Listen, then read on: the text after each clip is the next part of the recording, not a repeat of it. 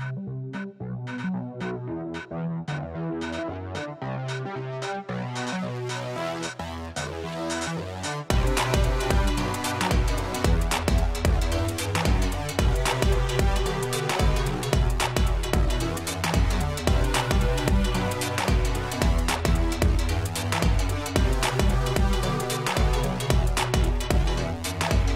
I'm Sherry and I'd like to showcase my current Live2D model.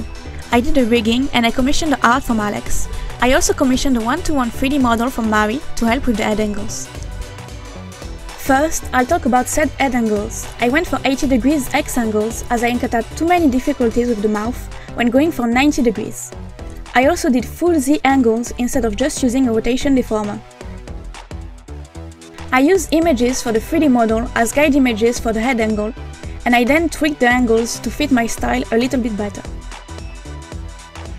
Since the model wasn't made for angles that high, I had to use some tricks to make it work, like using part of the face line to make the nose, extending the back head to reach the top of the head, and rigging most of the hair movements directly on the art mesh to squish the inside of the layer against the line art, to make it look like the layer is turning. For the face, I used VBridger. I made sure to use every parameter available and I even made new ones with the VBridger Editor DLC.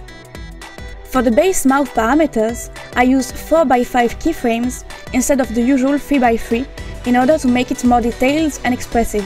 I also rigged the entire face to the mouth movements for cuter, squishier effect. One of the biggest issues I faced was that with that many mouth parameters along with the head angles, some combinations ended up looking wrong. In the end, I had to link some deformers to as much as 5 different parameters to make sure every combination looked good. For the body movements, I also used images of my 3D model as reference, but on top of that, I recorded myself doing those movements in VRChat with full body tracking, and I used those videos as references.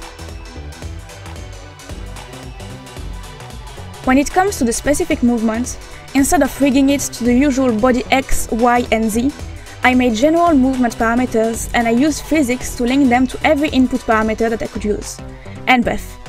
For example, I had a body left-right parameter that is linked to both body X and head position X. I used those physics parameters to give some liveliness to my toggles too. For those toggles, while I have a few simple outfit or expression toggles, I also have animated ones that are very good for viewer interactions.